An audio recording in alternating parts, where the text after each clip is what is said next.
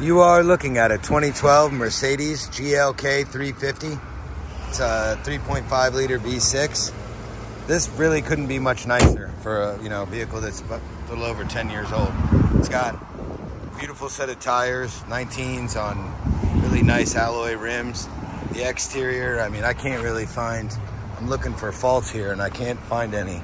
Honestly, I mean, it's not perfect, perfect because it's a little older, but like there's a stain on that, you know, like that's kind of minor. Uh, all the pieces are here. This was uh, owned by a person my boss knows, so they wanted it's on consignment to sell for them, and it's really, really super nice. GLK 350 4MATIC transmission. Uh, rear seat doesn't look like anyone ever sat in it. Front seats, equally nice. There's a tiny, tiny scratch right there.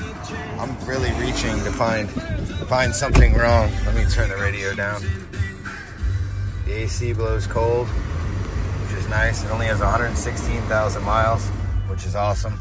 No lights on the dash.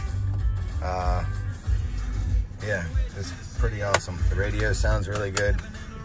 Let's take it for a quick spin while I describe the buying process. Uh, if you decide that this is the Mercedes for you, uh, let me turn this down. You would owe a deposit of $250 followed by the balance within seven days. You have a total 30 days to pick this vehicle up here in Frankford, Delaware. Frankford, Delaware is located 20 minutes north of Ocean City, Maryland, about two hours south of Wilmington and Philadelphia. If you fly here, you want to fly to Salisbury, Maryland Airport. That's airport code SBY, Sierra Bravo Yankee.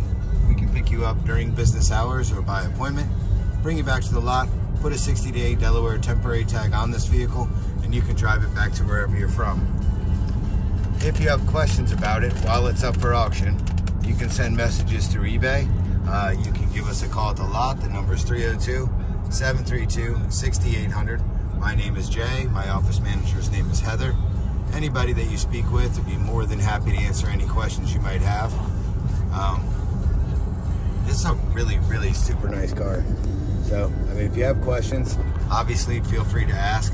Uh, but it is a, a, one owner car local to here in Delaware. Um, but yeah, I mean, it also actually came from right across the border. It came from Maryland. So the it did pass Maryland inspection, which is extremely difficult. But I don't see how it wouldn't. I can't seem to find any problems with it whatsoever. So if you have any questions, please feel free to ask. Otherwise, I wish you good luck and happy bidding.